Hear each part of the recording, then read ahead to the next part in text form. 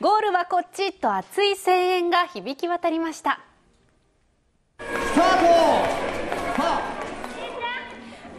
大野城心のふるさと館には生後8ヶ月から1歳2ヶ月の赤ちゃん32人が大集合。ハイハイレースに挑みました。コロナ禍で子ども向けイベントの中止が相次いでいますが赤ちゃんがハイハイをする時期は短く思い出作りと交流の場になればと2年ほど前から行われています。頑張るぞさに自信はあるんですけど来てくれるかどうか分からない。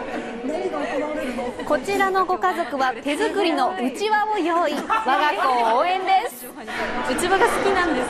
今日頑張ってくれたらいいなと思って作りました。